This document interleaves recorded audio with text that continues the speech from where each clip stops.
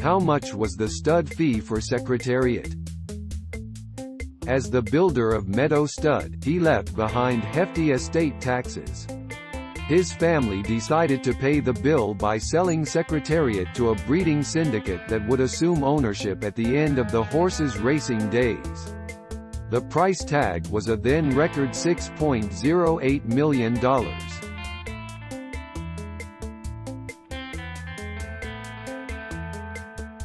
Thanks for watching. Please subscribe.